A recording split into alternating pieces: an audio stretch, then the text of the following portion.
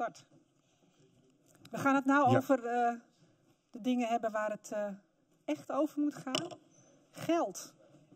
Right? Nou ja, nou, de- de- ik denk al bij verschillende sessies kwam naar voren. Hoe financieren we de transitie?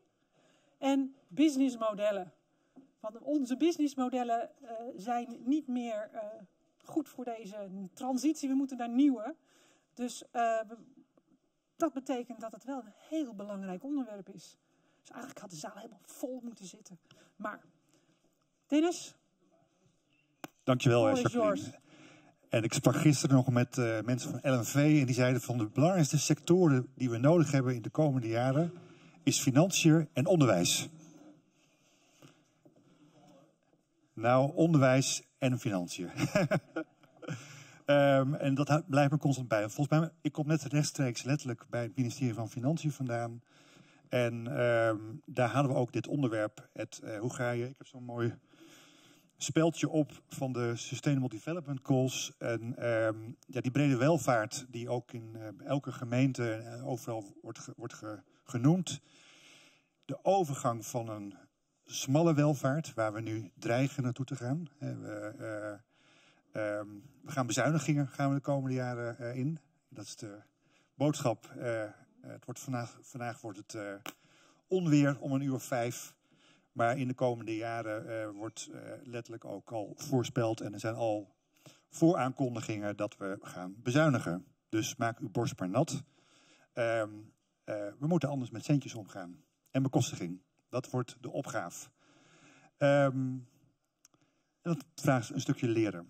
Nou, als we dat met de opgaves die we hebben rondom voedseltransitie, eh, rondom energietransitie, rondom biodiversiteit, rondom bodem en water sturend, dan betekent dat we eigenlijk dat op een andere manier moeten gaan doen. In de vorige bijeenkomst waar Jacqueline eh, eh, leidend was, had ze het al over een andere governance, dus andere doelen.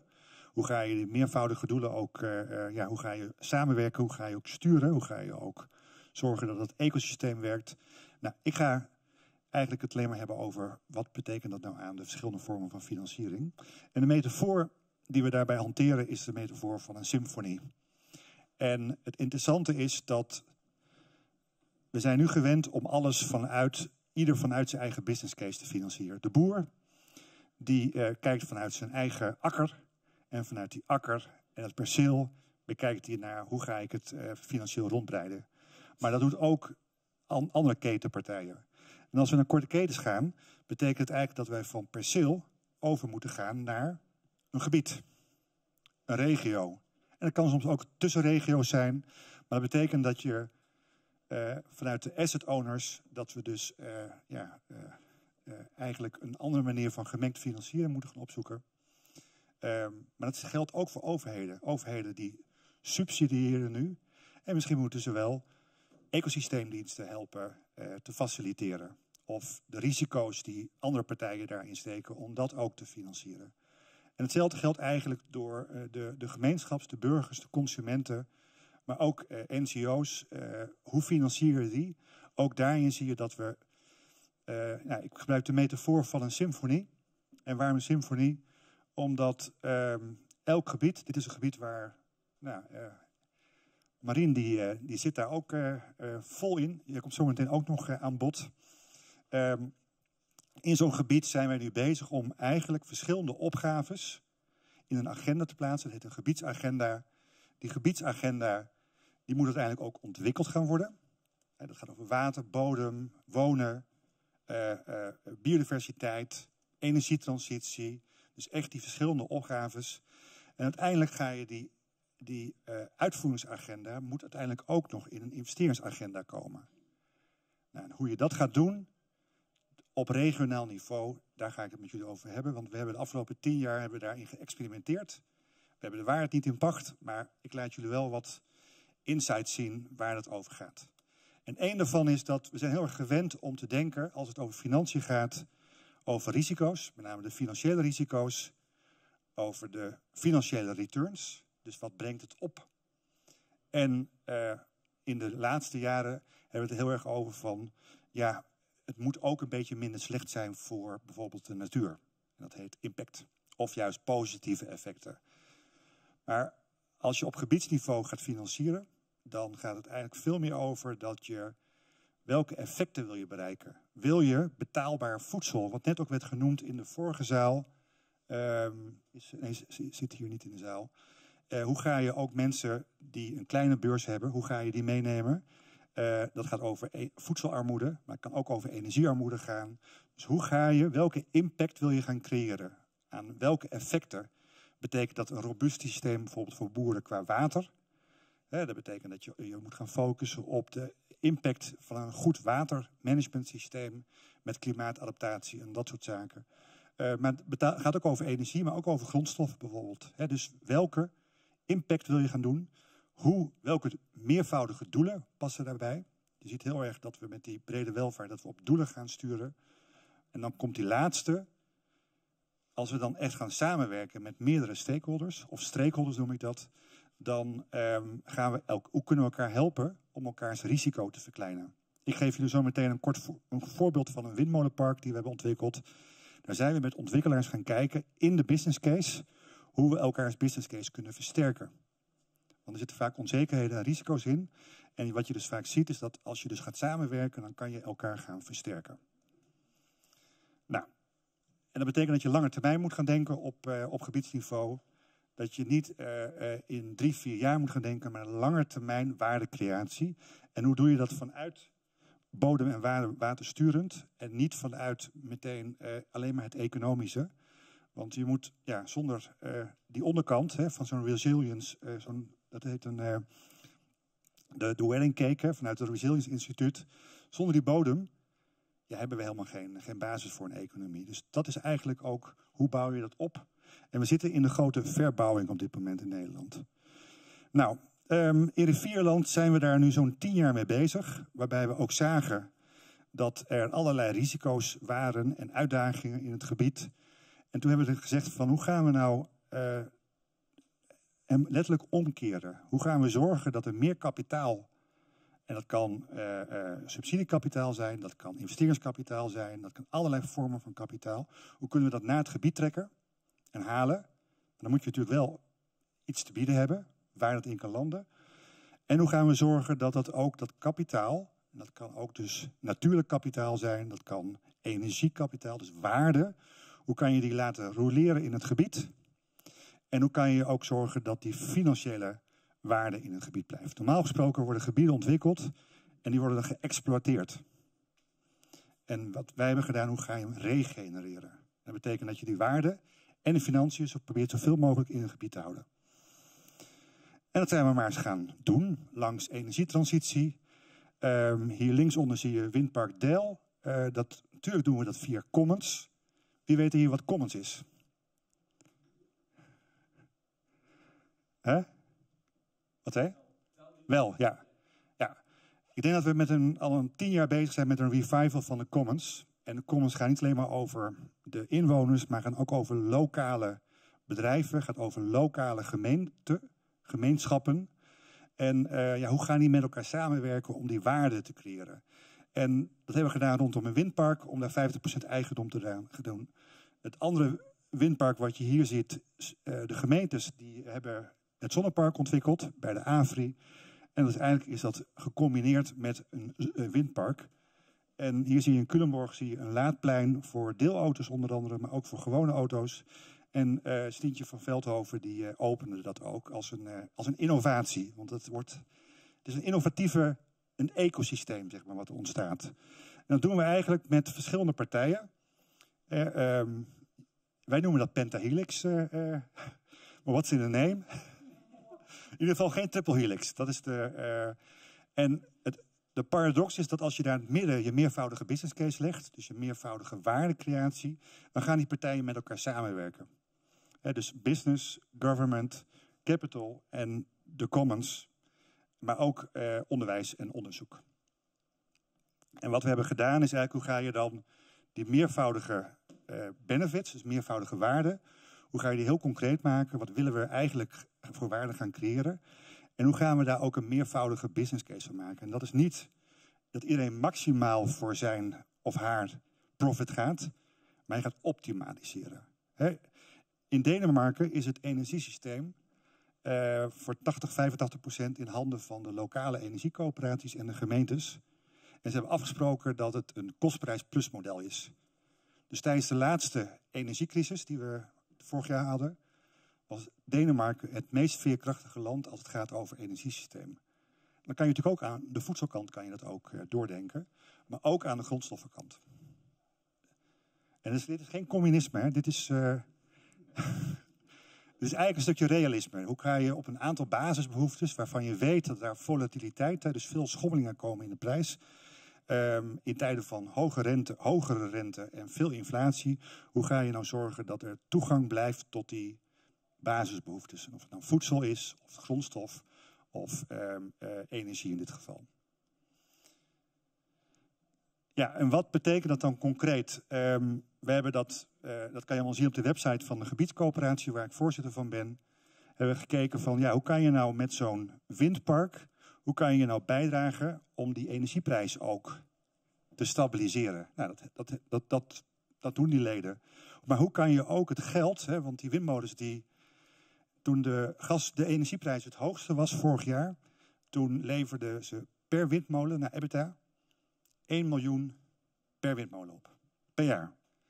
Dat is een, gewoon, ja, dat is, een cashmachine, zeg maar.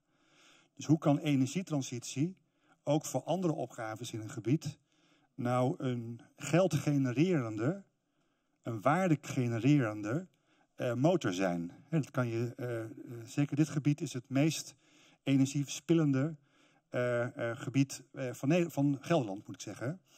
En, uh, en het interessante is dat je dus dan denkt van oké, maar dan gaan we het niet opnieuw uh, herbouwen duurzaam. Dat het al dat geld en die waarde weer uit die regio gaat. Maar hoe kunnen we dat zo zoveel mogelijk in het gebied houden? Om bijvoorbeeld ook een voedselbos, hè, dat is het, uh, het Linger, voedselbos, om dat ook mede te financieren. Want je, als je kapitaal krijgt, hè, je maakt een boekhouding van je gebied op reële waarde, maar je houdt ook de de cashflow in je gebied, in een aantal fondsen die ook hieruit ontstaan, dan kan je dus ook crossovers maken tussen sectoren. Want ik denk cross-sectoraal, dus het overgaan van sectoraal naar cross-sectoraal is een, niet, niet een, een keuze, het is een must volgens mij in de komende tien jaar. En een andere is ook samenwerken, niet alleen maar met de commons, maar ook met het, met het bedrijfsleven. Dus er is een hele mooie, um, uh, dat is het, een, de, de What Hub. Dat is een snellaadplein voor, um, voor uh, zwaar materieel. De, dijk, de dijken moesten uh, verhoogd worden in het gebied. De, het waterschap met een consortium van Van Noord en um, Dura Vermeer, die moesten dat CO2-neutraal doen. En wij hebben de windparken er tegenaan gehangen. En daarmee ga je dus een extra meekoppelkans creëren. En daarmee ga je ook weer het extra verwaarden. En dat heeft net een prijs gewonnen wereldwijd uh, uh, als, een, uh, als een superinnovatie aan de infrastructuurkant. Dus het denken in structuren, nou, datzelfde zie je eigenlijk ook. Hè. Ik ben erg opgeleid in het permacultuurdenken. denken. Dan heb je dus, elke asset heeft minimaal twee functies. Nou, dat doen we dus ook. Culemborg zie je een, um, een zonnepark met verticale, verticale zonnepanelen maar waar ook nog gewoon het agrarische gedeelte doorheen beweegt. Datzelfde bij Wandernooien uh, met een, een, zonnepark boven de fruitteelt. Ook dubbel doelgebruik uh, en daarmee ga je dus ook anders naar je assets kijken, maar ook naar je kassen en waardestromen. Hetzelfde doen we nu met aquathermie aan de Lingen. Dat is een project wat, uh, waarbij je eigenlijk ziet dat de lokale gemeenschap die bron voor warmte, uh, die je ook weer met de lokale energie gaat verwarmen. Maar je gaat gebruik maken van het, van het gebied, zeg maar. Um, en de gemeente, daar zitten we nu midden in een innovatieproces, die wordt partner om uh, de, de, met name de, ja, de, de, pijpen en de infrastructuur, om die ook te financieren. Daarmee ga ik weer publiek-privaat ga je op gebiedsniveau die waarde creëren. Oh ja, en ik moet we hebben een regionaal stimuleringsfonds. De voorloper was het, uh, het RIF, het Regionaal Investeringsfonds. Nou, uh, Marien is daar de, de directeur, moet ik zeggen. Of? Bijna. Dat net niet. ja. Maar dat is eigenlijk een aanjaagfonds voor zowel vroege fase als voor eerste haalbaarheidsaanpakken. ehm, eh, om met name dat ecosysteem ook echt in beweging te krijgen om van idee tot realisatie. En het interessante is ook dat dat soort financieringsinfrastructuur heel belangrijk is in je gebied. En als ik dan kijk naar de wereld waar ik ook uitkom, en dat is de wereld waar dat gaat over pensioenfondsen, dat gaat over de verzekeraars, dat gaat over de grote kapitaalstromen. Dan hebben we te maken, uh, ook in de voedselketen, te, met de komende jaren met allerlei uh, taxonomieën. En die gaan heel erg over CSRD. Wie is er bekend met CSRD? Dat is eigenlijk in je ketenverantwoordelijkheid dat, daar, ja, dat je moet verantwoordelijk bent voor andere partners in jouw keten, zeg maar. Het gaat heel veel impact hebben ook aan de verantwoordingskant. Maar als je kijkt wat er gebeurt aan de, de hele biodiversiteitskant, ook vanuit Europese uh, wetgeving, dan gaan uh, we maken nu stikstof mee, maar water en deze biodiversiteitskant, die gaat minimaal zoveel meer uh, impact creëren. En dan ga je opeens een asset ga je anders bekijken. En even vanuit het perspectief vanuit een pensioenfonds. Dit is het pensioenfonds voor rail en OV. Die kijken eigenlijk in hun portfolio. Uh, Jacqueline noemt net ook portfolio's. Ja, maar ik zie heel veel nullen. Dat is erg, hè? Ja. Ja. Als je kijkt aan de risicokant, en dat is deze met name, dat zijn Nederlandse financiële instituten.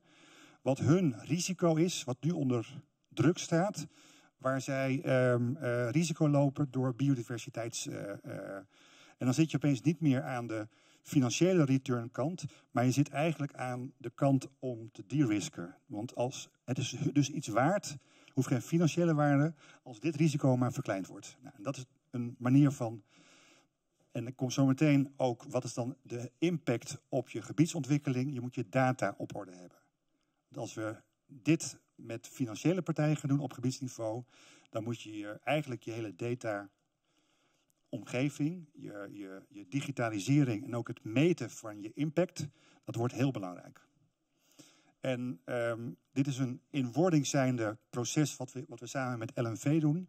Dat gaat over blended finance en um, verschillende vormen van um, ecosysteemdiensten. Ik doe dit samen met Caroline van Leenders, die ook veel op Natural Capital heeft gedaan. En we zijn aan het kijken hoe kan je nou producerende ecosysteemdiensten, culturele ecosysteemdiensten en regulerende ecosysteemdiensten, die bij, bij elkaar publiek-privaat worden gefinancierd, hoe kan je nou op gebiedsniveau, hoe, welke arrangementen horen daarbij? Uh, omdat op een gebied zie je eigenlijk, komen al die aspecten komen bij elkaar. Normaal zijn we gewend om het allemaal los van elkaar te doen in plaats van geïntegreerd. En geïntegreerd betekent niet dat je alles op één hoop moet gooien, maar dat je het als een, ja, als een lasagne uh, goed moet, moet, gaan bekijken in plaats van. Uh, uh, en daarmee ga je besparingen op, op, op, op ja, creëren, zeg maar. En je ziet dat een ASR of een ING pensioenfonds daarmee bezig is. Triodos, aardpeer is een mooi voorbeeld als een, als een, als een grond een grondfonds, zeg maar. Je ziet dat op allerlei plekken in de financiële wereld wordt gekeken hoe kunnen we op een andere manier met assets omgaan. En blended finance, dus gemengd financieren vanuit die verschillende partijen. En hoe kunnen de verschillende partijen elkaar gelijktijdig helpen om eigenlijk de risico's te verkleinen. En als een risico verkleind wordt, dan kost kapitaal minder. En dat is denk ik wel wat we allemaal willen, zeker in tijden van hoge rente. En dan ga je eigenlijk een soort van balans vinden. Uh, dit gaat dan echt over die natuurinclusieve markten, als een gebied ook een natuurinclusieve markt is, om die producerende ecosysteemdiensten, die regulerende en die cultureel, uh, culturele ecosysteemdiensten, uh, om die ja, letterlijk hand en voet te geven. En Commonland, dat is een van de partijen die ook inspirerend is geweest voor de fruitmotor. Nou, dit is de fruitmotor die nu voorbij komt, is een van de landbouw en agrarische, zij willen eigenlijk een overgang maken van dit landschap naar meer een, ja, een bioregion, en veel meer een regeneratief. Uh, dat doen ze, nou, ze zijn dat gestart met de fruitmotor. Wie kent de fruitmotor? fruitmotor is eigenlijk een, een ja, hoe ga je heel praktisch uh, circulaire economie en een regeneratieve aanpak van afval want deze appels die mogen niet bij de Albert Heijn liggen, want die zijn niet mooi genoeg. hoe ga je toch de intrinsieke waarde, hoe ga je daar een, eh, een product van maken die uiteindelijk ook weer kan bijdragen aan de landschapsverbetering. en daarvoor hebben ze allerlei prijzen gewonnen. Het is ook een voorbeeld van true price. Hè, dus de, de werkelijke prijs, hoe ga je die ook terugbrengen? En wat erin zit, is hoe ga je op zo'n gebied hoe ga je die verschillende SDG's of de brede welvaart, hoe laat je die via een product, waar die voor 10 euro eh, ook eh, hier in, in een, eh, bij een hotel eh, te, te, krijgen is, daar laat je eigenlijk een deel weer terugvloeien, waarbij die appel, eh, eh, die was eigenlijk niet waard of heel weinig, want werd doorgedraaid of we ging naar Oost-Europa. En wat zij doen is het, op, het opwaarderen eigenlijk van dat, van dat product. En ze hebben ook aangegeven dat je daarmee ook het landschap moet versterken. Dus ze gaan andere doelen eraan koppelen. Dat maakt het ook praktisch. En daarmee hebben ze, net als bij uh, Common Land, hebben ze de four returns ook omarmd. En dat gaat over uh, return on natural capital, return on social capital, return on financial capital en return on inspiration. En dat past ook weer bij die hele ecosysteemdiensten, die culturele uh, ecosysteemdiensten de kunst, en dat is misschien eventjes de samenvatting. Wil je gebiedsgericht en transitiegericht gaan financieren, dan moeten we, niet, moeten we afstappen van de koek gaan verdelen. Maar we moeten de taart, nee sorry, we moeten die taart gaan verdelen, maar de koek groter gaan maken. Geld als middel inzetten. Uh, uh, en dat vraagt wel aan de governance kant dat er dus op een andere manier wordt samengewerkt. Betekent dat je elkaar wil gaan versterken. Uh, maar dat betekent ook dat je aan de kapitaalskant ook uh, veel meer moet gaan kijken hoe kunnen we elkaar daar ook in helpen. En dat betekent bijna dat je naar een open boekhouding moet gaan. En dat is best wel spannend. Maar zo bij de Windmolenpark hebben wij uiteindelijk, door de spreadsheet op tafel te leggen, hebben we in elkaars boekhouding kunnen kijken. En ik ken dus vergelijkbare cases ook. Maar dat, ja, dat vraagt vertrouwen. Hè? Want vertrouwen is volgens mij het, uh, het woord uh, wat hieronder zit. Want vertrouwen is eigenlijk de, de nieuwe currency. Als wij de komende jaren door die transities heen willen gaan, dan is het opbouwen van vertrouwen tussen partijen cruciaal. Wil je op een andere manier publiek-privaat gaan financieren? En het interessante is dat normaal gesproken zitten er allerlei transactiekosten opslagen in een business case. Omdat er vaak uh, risico's afgedekt moeten worden. Dat moet vanuit de ACM, dat moet vanuit de uh, eh, AFM ook en, en DNB. Als je dat anders doet, dan bespaar je letterlijk ook kosten. Um, en je vergroot daarmee maatschappelijk en financieel rendement voor het gebied. En dan kan je dus uh, uh, van een boerderij, alleen een primaire voedselproducent, kan je naar een landschapsinvesteringsplatform gaan. Want dan ben je eigenlijk, uh, dan wordt de boerderij of de voedselproducent wordt een onderdeel van een veel groter regionaal ecosysteem. En waarbij dus verschillende doelen, maar ook verschillende financiers kunnen aanhaken. En um, dat betekent dat je dus anders moet gaan besturen, anders gaat ondernemen en financieren. En dat het leren daarin uh, wel heel erg belangrijk is. Gisteren was er een. Uh, uh, gisteren was een, een, in het Katshuis was er een interessant overleg vanuit het ministerie van Financiën en Economische Zaken. En dat ging over brede welvaart. En minister Kaag die, uh, die, die postte daar een LinkedIn en die zei van ja, we, we, moeten gewoon gaan doen en we moeten gaan leren. Want we, we kunnen nu niet alles weten.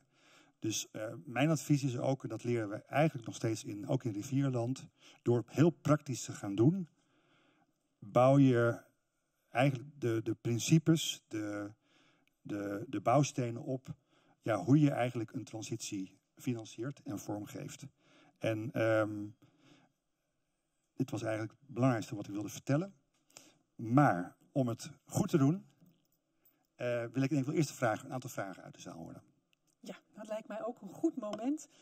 Uh, het was enorm informatiedicht. Uh, maar ongetwijfeld willen mensen nog meer weten. Of commentaar geven. Kan allebei. Um, Jan. Dankjewel. Ik vind het een fantastisch verhaal, Dennis. Dus dan vraag je je af, waarom gebeurt het niet in alle regio's? En ik ben heel erg gefascineerd dat het juist in de Betuwe, want ik zie de Betuwe juist als een heel conservatief gebied. In mijn beleving, ik werd net bevestigd door Marien dat het niet het meest voorstrevende gebied is. Dat het juist dan in de Betuwe juist blijkbaar lukt. Dus kun je, kun je iets, want ik denk dat heeft misschien met cultuur of met vertrouwen, dus Dat soort processen zijn natuurlijk heel erg cruciaal. Nou, we zijn Of heb je daar mensen nodig zoals jij of andere mensen die daar gewoon het kaart gaan trekken? En dan mensen op sleeptouw nemen. Dat, daardoor, dus ik ben heel benieuwd van wat maakt nou dat dit wel of niet lukt. Ehm, en ik denk dat het, want er hebben heel wat onderzoeken zijn er al ook, eh, zijn mensen al gepromoveerd ook op het gebied. En eh, mijn idee is dat er een hele praktische eh, can-do mentaliteit is. Dus niet te veel praten, maar heel erg gewoon, en dat zie je bij ondernemers, burgers, zelfs ook bij lokale bestuurders. Het is geen echte bestuurdersmentaliteit. En, sterker nog, er wordt eens gezegd dat er wat nou, niet zo krachtig bestuur is. Nou, dat, dat, wil ik in het midden laten. Maar de, ehm, eh, er is een hele pragmatische van idee tot realisatie. Dat is poot in de letterlijk. Het is een klei gebied. Ehm, dus dat is denk ik één belangrijke waarde. En er zijn denk ik in dit proces gewoon een aantal spelers die eh aanjager zijn of ruimte willen creëren. En ik denk ook dat dat heel erg meespeelt. Ehm, eh, en ik denk dat er ook heel veel toeval in zit. Ik geloof niet in maakbaarheid en dit soort dingen. Ik denk dat het. Maar er bewust mee bezig zijn. En er zijn gewoon. ehm, eh, en het is ook kwetsbaar nog steeds. Hè. Nog steeds zijn wij kwetsbaar als gebied. En we zijn nu bezig. Hoe borgen we dit ook op de wat langere termijn? Zowel bestuurlijk, structureel. En dat is ook ja, leren en experimenteren. En eh, we zitten midden in een regio-deal in de laatste fase. Daar zit een belangrijk thema eh, samenwerking in. En ook daarin zoeken we hoe gaan we nou structureel wat we nu hebben opgebouwd doorzetten. Want het hangt ook veel aan mensen. En dat is niet gezond, vind ik altijd. Dus je moet er veel meer naar jouw slide toe straks uiteindelijk naar weer een nieuwe institutie of regime. Ja. Dat is heel belangrijk. Wat ze ook wel vaak uit de transitietheorie zeggen, is dat een gevoel van urgentie heel belangrijk is. Is in de Betuwe op een of andere manier het gevoel van urgentie sterker, prominenter?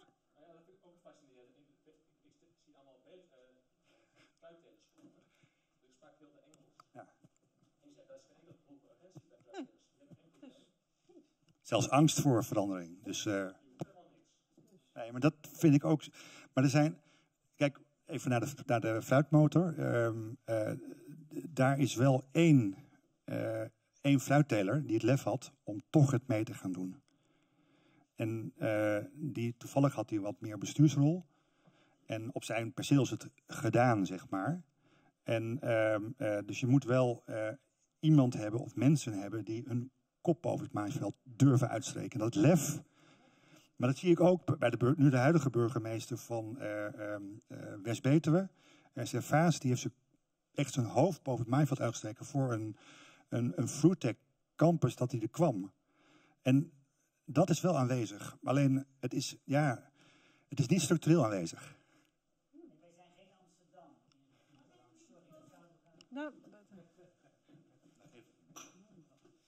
We zijn helaas geen Amsterdam in, eh, in Rivierenland. Dus het is inderdaad, we hebben nadrukkelijk een aantal, eh, ja, wij noemen dat witte raven hebben we er nodig. En of dat het nou eh, inwoners zijn, ondernemers of bestuurders.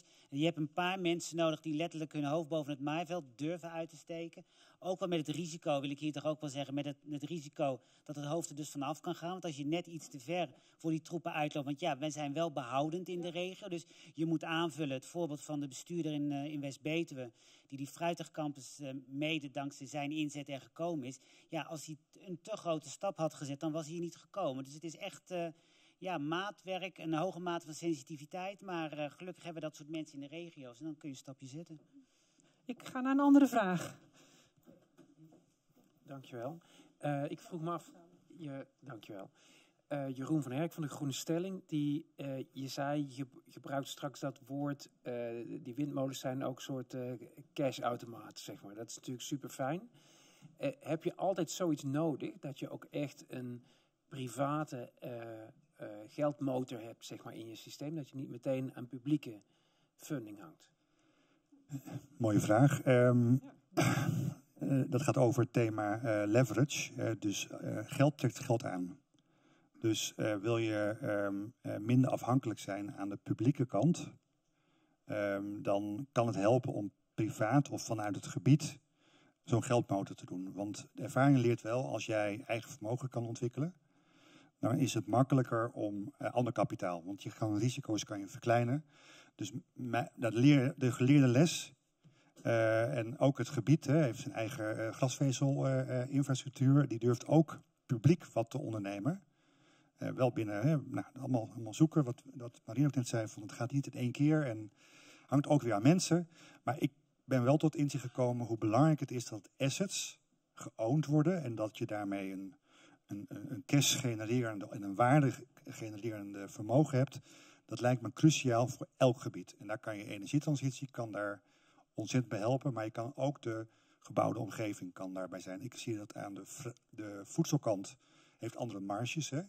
En sociale opgave is natuurlijk helemaal. Dus maar dat, dat kunnen mengen, zeg maar, dus cross-sectoraal, met een aantal geldmotortjes. Ja, ik zie het gebied eigenlijk meer als een, als een bedrijf, maatschappelijk bedrijf. Geef dat antwoord? Uh... Ik zie nog. Ik zie nog een hand. Dank je. Ja, mijn naam is uh, Renate Sveers. Ik ben werkzaam bij ABN AMRO. En uh, ik vroeg me even af, want je refereerde net aan een overleg gisteren in het Katshuis met, met Sigrid Kaag. Die zei van, we moeten vooral gaan doen. Nou, dat is heel mooi. Alleen als ik kijk naar hoe wij als banken moeten voldoen aan allerlei wet- en regelgeving en ratio's. En hè, we mogen geen centimeter afwijken, want dan, oh jee, is lijden in last. Dus wat ik me dan afvraag is in hoeverre, of hoe, nou ja, hoe kijk jij daar tegenaan? En in hoeverre zie jij dat er wellicht meer ruimte geboden gaat worden, ook vanuit het ministerie van Financiën, bijvoorbeeld aan banken, om daar meer ja, in te kunnen, ja, flexibel in te kunnen zijn? Ik kom net, nou, kom ik netjes in mijn pak ook, uh, kom bij het ministerie van Financiën vandaan. Uh, daar hebben we een directieoverleg gehad. En dat ging over Symphony. En dat ging onder andere over, um, uh, en dat doe ik samen met uh, Herman Mulders, is onze raad van advies, voorzitter, oud uh, ABN AMRO. aan de risk, maar ook aan de structured finance kant. Hoe kan je nou voor pensioenfondsen, eigenlijk de hele financiële wereld, hoe kunnen we nou de-risken? Want jullie krijgen in jullie modellen, zeker met jullie compliance en alles wat jullie op je afkrijgen, wordt het eigenlijk steeds moeilijker om te financieren. En je gaat achter je je line of defense zitten. Um, uh, uh, wat ik heel belangrijk vind, en we zijn nu aan het zoeken hoe ga je dat opbouwen. Ik denk dat het heel belangrijk is om, om regio's te kunnen reten. Dat ze investeerbaar en financierbaar zijn. En als je dat goed doet met, met eigenlijk aanvullend de-risking. Letterlijk, ik zat met Atrarius niet zo lang geleden.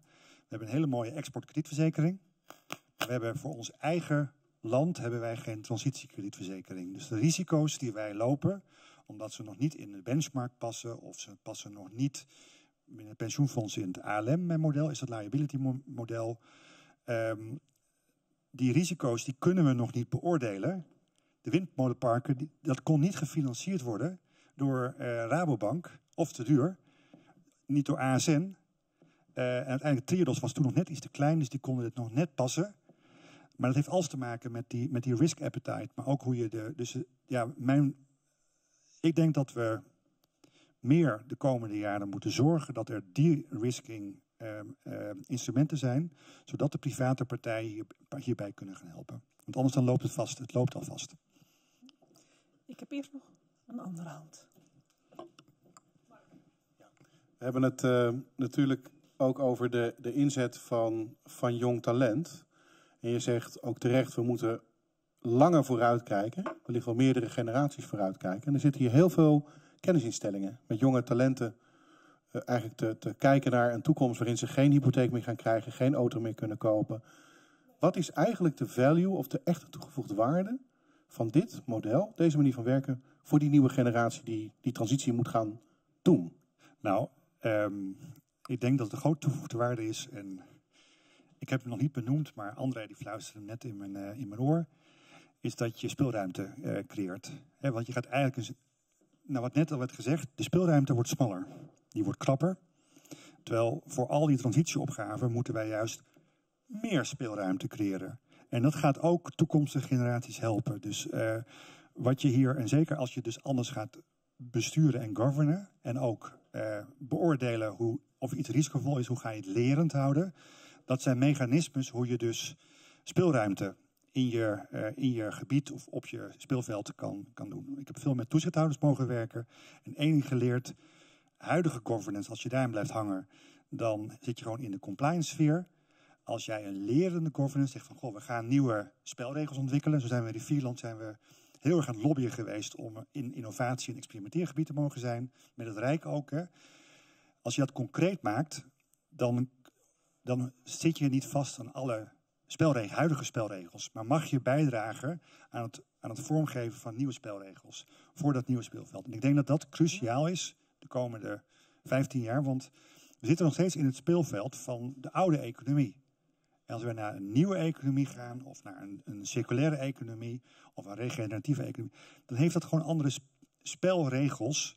Maar die gaan we niet in één keer weer. Dus je moet speelruimte creëren.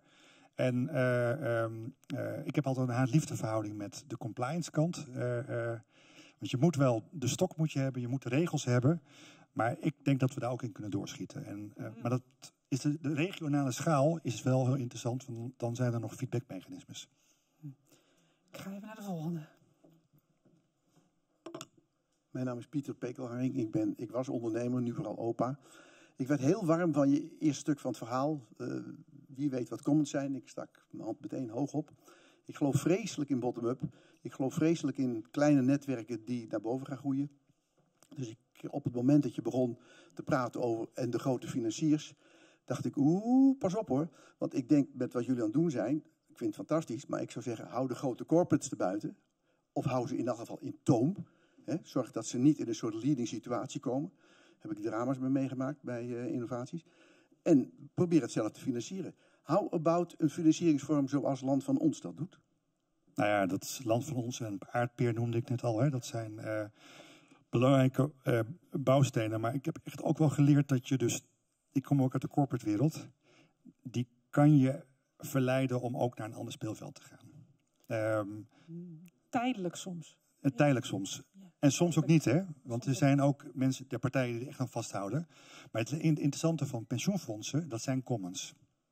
En dat beseffen we niet meer. Dat is de enige financiële partij die eh, niet stuurt op eh, eigenlijk financieel rendement, maar een goede oude dag. Dat staat zelfs in een pensioenwet. En een goede oude dag betekent betaalbare, duurzame, toegankelijke voor meerdere generaties eh, basisbehoeftes. En dat hebben wij vertaald naar het Zwitserleven hè, eh, eh, model. En je ziet nu bij de pensioenfondsen dat ze ontzettend aan die commons kant, maar ja, te weinig volume, te klein. En ik vind het spannend. Oh, oh, oh, nee, Ja. Je noemt die pensioenfondsen als van ja, die beheren ook co- collectief ons geld. Dus daar moeten we van verwachten dat ze ook vreselijk bezig zijn met de maatschappij en alles eromheen. Maar ze investeren grotelijks in private equity. Nou, als er een club is die de boel kan laten ontsporen, dan is het private equity. Helemaal mee eens. Dus dat betekent, maar dat betekent niet dat je dat pensioenkapitaal interessant is. Ik denk dat dit een mooi moment is om naar het volgende onderdeel te gaan. Ja, Oh, nou, vooruit. Eentje nog, maar dan voor de rest. U heeft het over regeneratieve economie. Dus de ecolo eco, ecologie. eco is niet van mij. Dus, maar het regeneratieve hoort eigenlijk te beginnen bij de bodem. En bodemleven en de insecten die er bestaan. Wordt deze ook meegerekend in het verdienmodel? Ja, dat liet ik dus net zien, ook eh, juist aan de eh, kant van de biodiversiteit. Dat dat dus een sturend mechanisme kan zijn. Zelfs de bodem van water en bodemsturend. En daar zit gewoon momentum met pensioenfondsen op dit moment. Gezondheid. De Mentimeter. Ja. Daar Nee, gaan we of, of gingen we nog eerst met, met, met Jan eventjes? Wil je eerst even, Jan? Want we hadden het ondertussen al, had je het al over, dat met experimenteren en leren. Ja, En dat vraagt wel dat je laat zien wat er gebeurt, dat je het kunt volgen, dat je weet waarvan je vertrekt, dat je kan volgen in de tijd hoe het zich ontwikkelt. En daarvoor heb je data nodig. ja dus Jan, ik zou jou willen vragen om eens wat te vertellen waar jullie mee bezig zijn. En met name, daar hebben we het vaak over gehad, eh, voor verschillende stakeholders en stakeholders heb je eigenlijk verschillende vormen van data nodig. eh, om uiteindelijk in, een, in dat systeem ook te komen. Dus eh, wil je ons wat meer vertellen wat jullie aan het doen zijn? Nou, dat, dat wil ik heel graag. En ik wil ook wel even reflecteren op je verhaal sowieso, hè? even in algemene zin. Ehm, en laat ik even met dat laatste beginnen voordat we met data gaan. Want anders dan, dan lijkt het net alsof data weer centraal staat. Het gaat natuurlijk om die waardecreatie. Hè? Dat, is, eh, dat staat centraal. Nou, nu kwamen net een paar dingen voorbij dat ik dacht van nou, ik kan zo meteen wel even, even eh, reageren. Eerst was inderdaad van, is er dus inderdaad urgentie om dit soort dingen in beweging eh, te zetten. Uh, speelruimte, ik pak nu ook speelruimte. maar de speelruimte, die groeit. Ik ben ervan overtuigd dat die groeit. En dat komt omdat er inderdaad noodzaak is. Eén, groeit die aan de, aan de overheidskant. De overheidskant moet er steeds meer op emissiereductie, CO2-reductie, weet ik wat allemaal. En dat, is, dat beleid gaat gewoon gebeuren. Hè? de Green Deals vanuit Europa, het, het, gaat gewoon, het krijgt vorm. Betekent dat je dus integraal moet, moet gaan maken. Nou, dat, is, dat, dat kunnen ze niet. Hè? Dus, uh, dat gaat niet van vandaag op morgen, maar dat, het gaat wel gebeuren. Dus de urgentie om daar iets te doen is ontzettend groot. Ga je nou de overheid gebruiken als subsidie om operationele kosten? Uh, nee. Kan de overheid helpen om de transitie te maken? Dus inderdaad een goede rol te spelen als launching customer, als opdrachtgever, als weet ik van. Daar moet je ze voor gebruiken. Dat moet je uh, motiveren en daar moet je ze voor inzetten. En dan heb je dus ook een legitimiteit, want er is natuurlijk gewoon sprake van marktfalens, systeemfalens, omdat we nog geen nieuw systeem hebben. We hadden net een governance verhaal, dus ja, ja, die kosten en dit. En, nee, natuurlijk, als je naar bestaande ketens kijkt, ja, dat gaat hem niet worden. Dus ga je een alternatief systeem opzetten? Ja, dat gaat hem wel worden, maar heeft tijd nodig, nieuwe spelregels. Maar dan hebben we het dus te maken met marktfalens en systeemfalens. En noem die termen ook zo, want dan begrijpt het ministerie van Economische Zaken tenminste ook waar je het over hebt. Uh, en dat is ook een legitimiteit voor overheidsfinanciering om daarin te stoppen. Niet subsidie van normale operatie uh, dat soort zaken. Aan de andere kant, bottom-up kant. Is er urgentie bij producenten van voedsel, uh, bodembeheerders, om inderdaad in actie te komen? Ja, die is er. En die is er enorm. Uh, gaat dat alleen over voedselproductie? Nee, dat gaat over meervoudige verdienmodellen. We zijn bezig meervoudige verdienmodellen in dat gebied uh, nou, te ontwikkelen. En iedereen vindt dat uit. Dat betekent dat je ook aan die kant, zou ik maar zeggen, die integraliteit, ja, die ontstaat. Nou, die twee, die moet je bij elkaar brengen, moet je een handshake tussen maken. Jij zegt dat moet in het gebied, in de regio. Ja, is denk ik een mooi vehikel, maar het kan ook zonder dat. Hè? Dus dat, dat is helemaal niet uh, meteen uh, één op één gekoppeld. Nou, wat heb je daar nou voor nodig? Want je noemt een ander belangrijk steekwoord en dat is vertrouwen. Vertrouwen ontstaat niet zomaar als je nu kijkt tussen de voedselproducenten, de boeren en de overheid. Hè, dus die twee vehikels wil je eigenlijk bij elkaar brengen. Er is gewoon nul vertrouwen. Er is geen vertrouwen. Eén, die boer die wil niet per, per definitie veranderen, die wil gewoon gesubsidieerd worden. Gaan we niet meer doen. En die overheid die wil inderdaad nuttig beleid doen, maar heeft geen data, die heeft geen informatie. Dus het is allemaal natte vingerwerk van, nou, dat lijkt ons wel een leuke regeling. Nou, en dan kom je dus inderdaad in allerlei institutionele spelregels waar je helemaal in vastloopt. En dan zeg je van, jongens, uh, dat gaat niet hard genoeg. Nou, je kunt het zo voorspellen. Wat we dus nodig hebben is transparantie. Transparantie is uitermate belangrijk, ook in die voedselketens, om die transparantie te brengen. Waar zitten de marges? Wie pakt wanneer wat? En waarom? Uh, waarvoor? Nou, die transparantie, dan moet je er wel, dat is dus een van die spelregels, daar moet je dus aan mee willen werken. Dus je moet zorgen dat die data beschikbaar komt. En dat is niet alleen operationele data uit de, uh, de voedselketens, van de producenten, et cetera. Het is niet alleen de primaire procesdata. Dat is ook data rondom grond, rondom uh, biodiversiteit, rondom weer, rondom allerlei zaken die daar uh, komen kijken. En dat, is, dat zijn dus heel veel databronnen, die voor een belangrijk deel ook weer door de overheid beheerd worden. Dus de hele basisregistratie ondergrond moet de overheid dus op een manier beschikbaar stellen, zodat wij erbij kunnen om dit uh, uh, te voeden. Nou, waar wij nu mee bezig zijn, is precies dit inrichten zorgen dat er dus, ik noem het maar even, een, een data commons. Een data commons is een nieuw begrip, dat is wat anders dan een gebiedscommons. Hè? Dus even voor de alle duidelijkheid. Dat is wel dat voor gemeenschappelijk doel data dus beschikbaar stellen voor verschillende gebruikers. Die gebruikers onderling hebben gezamenlijk een vast doel. Dus het kan zijn dat producenten zeggen van nou, wij willen dat delen om onze business intelligence en operational intelligence te verbeteren. We willen tussen regio's zorgen dat vraag en aanbod beter op elkaar is afgestemd. Heel belangrijk, heb ik je nog niet horen noemen, is wat je hier moet doen, is de relaties herdefiniëren. Er moet wederkerigheid ontstaan. Als er geen relatie is, en dus in het bestaande systeem zijn die er niet, want die zijn doorgeknipt. Eh, omdat het alleen maar over volume eh, eh, gaat. Als je die relaties niet helpt herdefiniëren, dus als de producent niet weet wat die consument wil, ja, waar produceert hij dan voor? Ja, voor de groothandel. Heel simpel. Nou ja, en dan, dan gaat het over. nou, die relaties die moeten hersteld worden. Dat kan alleen maar als je weet waar je mee bezig bent. Dus als die data beschikbaar is voor bepaalde informatie. Dat kan dus zijn voor gebruikers, hè, voor producenten, bedrijven, ondernemers. Die zeggen, nou daar wil ik wat mee. Kan ook zijn voor overheden. Die zeggen, ja ik wil wel beleid maken. Maar ik wil nu ook eens beleidsevaluaties doen en beleid maken die deze transitie ook ondersteunt. Op een goede manier. Evidence-based policies. Is er nu niet. Er is geen referentiedata.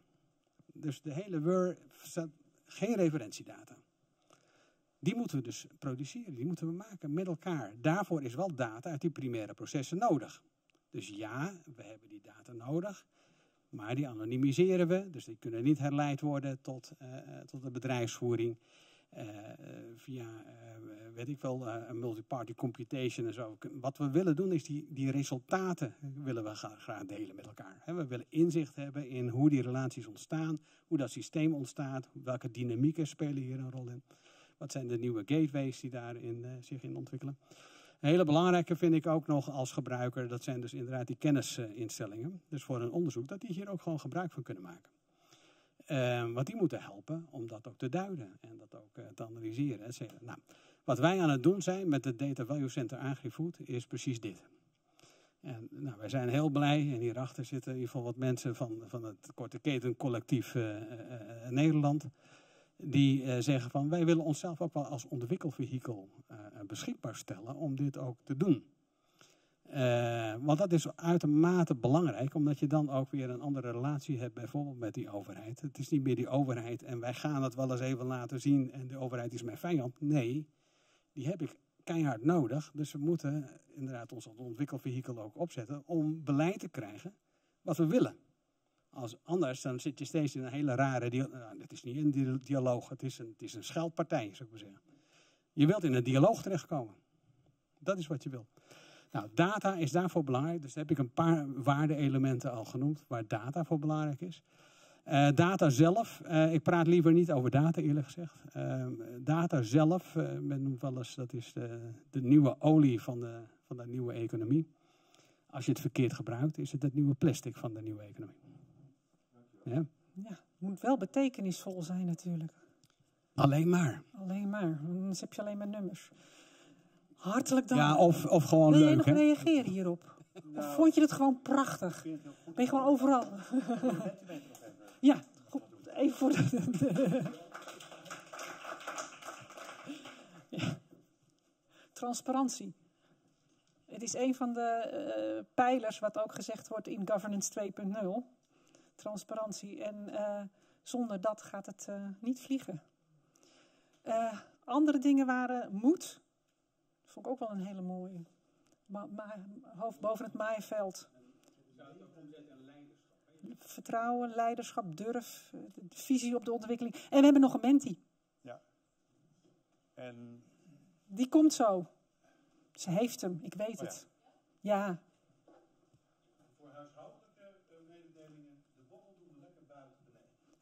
Je wou het niet hier in de, in de airco hebben. Ah. Ehm, oh, daar staat nu maar op één eh, scherm. Kan je hier ook nog meerdere schermen krijgen? En ik ga weer eh, voorlezen uit eigen werk.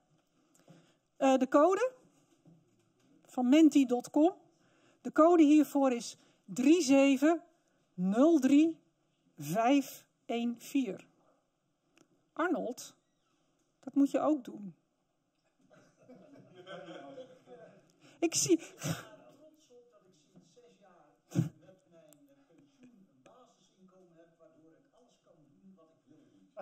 Oké, goed. Nou, dat is genoeg. De code 3703514.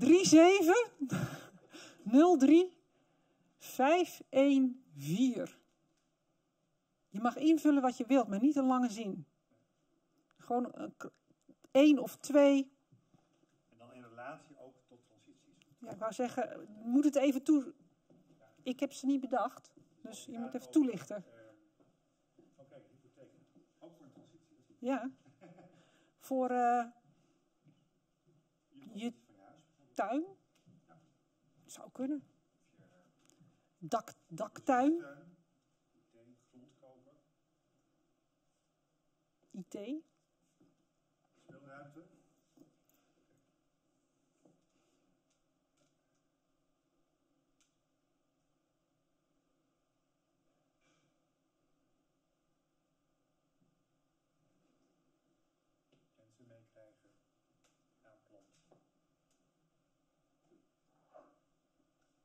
Ik denk dat verder opstarten van kort, korte ketens had moeten zijn, maar er mochten niet meer letters.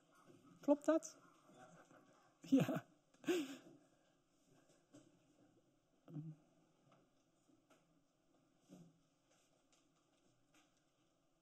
wat je eigenlijk ziet is dat dus... Dat ehm, eh, het zit zowel op proces als op, op concrete eh, assets. Hè, dus het, eh, het, het, eh, het vastgoed, zeg maar. Eh, en speelruimte. Dus dat is ook, is ook proces, zeg maar. Dus ik denk dat dat de belangrijkste eh, dingen die we hierin zien. Heel veel rondom experimenteren. Ja. ja. We hebben geld nodig om te experimenteren. En te leren dus ook. En te leren dus. Ja. Ja. Ja. Ja. En coöperaties. Goed. Ehm, we gaan naar de volgende.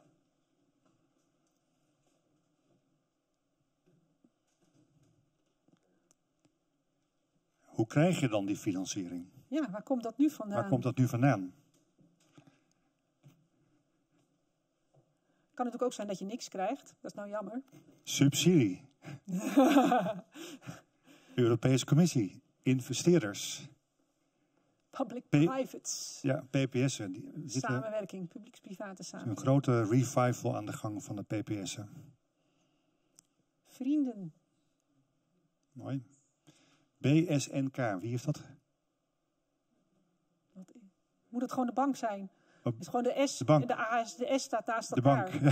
dat voelde ik al aan. Ja. Nou, hier zie je eigenlijk al die, die blended je ontstaan. Ja. Hè? Dus die komt dus in, informals, formals. Ja. Oké. Dus we hebben eigenlijk eh, de, de proceskant, de experimenteerde leerkant. En we hebben dat vanuit verschillende bronnen, dat hoor ik eigenlijk. eh. Ja. De volgende vraag. Ja. En wat is dan jouw grootste obstakel om die financieringen te krijgen?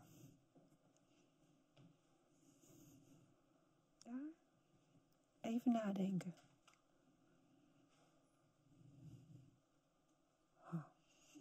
Vertrouwen. Ah, Give it to me. tijd.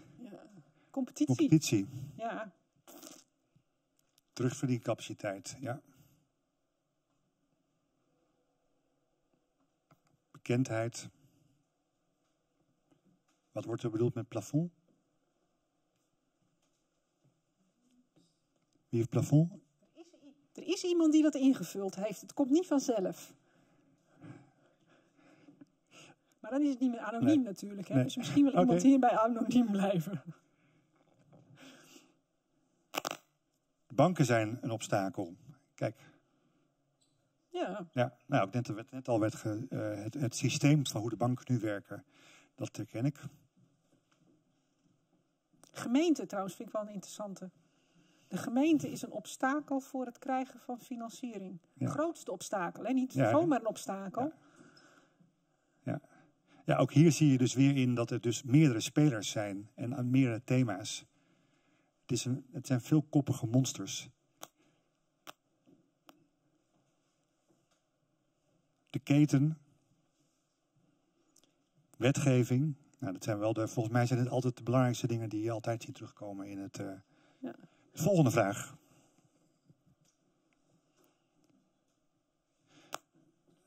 Dat vind ik een hele financiële vraag. Hè? Ik denk nooit aan het afdekken van risico's in mijn. eh, pro- nou ja, ik denk natuurlijk wel aan risk, risico's en risicomanagement. Maar Afdekken van risico's. Ja. Ja, dat is een... Ik zou niet weten wat ik in moest vullen. Nee, je mag gewoon klein houden. Stel dat jij wil je huis verduurzamen. Dan is het risico dat er nieuwe technieken komen die goedkoper zijn. Hoe dek je dat af? Bijvoorbeeld. Of, eh, dat zie je nu ook aan de landbouwkant. Het, het, nou, de nieuwe innovaties die nog gaan komen ergens in de toekomst. Ehm, maar je hebt ook financieel risico. Je hebt heel veel, heel veel politieke risico's. Dus de, eh, eh, beleid wat verandert, eh, wetgeving. De vierjaarscyclus. Ja. Ja. ja. Er, zijn, er zijn wel een af, afnemend aantal mensen die het invullen. Zie je dat, Ja. Dennis? Ik weet niet hoe dat komt. Het is volgens mij ook omdat het eh, afgerond moet worden. We gaan nu de Het, ook, laatste het zou vraag. ook een hint kunnen zijn van we willen naar de borrel. De laatste vraag. Mag wat mij betreft. De allerlaatste vraag. Ja. Die we nog voor jullie hebben voordat jullie... Dus moet wel je best doen, anders gaan we de deur sluiten. dus de laatste vraag, wat was Ja. die? Dat was, een, dat was een hele makkelijke. Het, was, het is een ja-nee. Dus dat, dat, dat moet voor iedereen lukken. Ja. Maar dan moet hij wel komen. Komt de laatste Mentimeter vraag nog. Lukt die? Ben je bereid deel te nemen aan een gebiedsgebonden blended finance oplossing waarin wij de gehele keten... Invullen, hè? Hij doet het niet. Oh, moet je niet gewoon die oude vraag invullen? Dan doe je gewoon wat. Oh, nou, dan weet ik het ook niet. Dat is een beetje, hij blokkeert ook vaak, hè? Is het bereik slecht? Oh. Nou, we kunnen ook hand opsteken. Weet Hoe willen we? Ja, dat moet je kijken. Dat werkt ook, hè? Ouderwets is soms hartstikke handig. Ja. Nee, nog even opnieuw. Ja. Want we moeten even weten waar je je hand voor opsteekt, hè? Ja. Oké, we, we, steek de hand op voor ja. Kijk. 19, 11, 12, 13. Nou, dan, Toch de helft van de zaal. ja, nou dan eh, En moeten ze zich bij jou vervoegen? we, we zijn met meerdere partijen zijn we het, het hele speelveld hè, en de doorontwikkeling van de gebiedsgebonden en gebiedsgedreven blended finance aan het opbouwen. Dus, en we hebben heel veel cases de komende tijd ook nodig. Ja. Gaan ook wetenschappelijke partijen gaan er meewerken. Ehm, we zijn nu vroege fase, maar de, er is gewoon veel tractie op, op aan het ontstaan. Dus eh, ze mogen zich bij mij, bij mij melden. Dank jullie wel. Dank.